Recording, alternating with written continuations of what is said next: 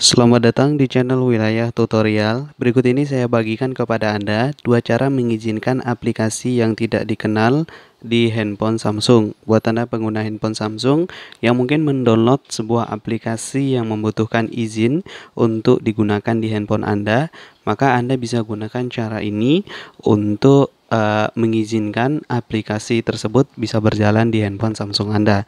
Nah, untuk cara yang pertama, teman-teman, kalian tinggal ketuk dan tahan lama saja pada aplikasi yang akan kalian izinkan. Nah, di sini saya contohkan aplikasi Lazada ini ya. Nah, jadi caranya tinggal tekan dan tahan lama seperti ini, kemudian pilih bagian info aplikasi. Selanjutnya, teman-teman scroll aja ke bawah, kemudian kalian akan menemukan pada install aplikasi yang tidak dikenal.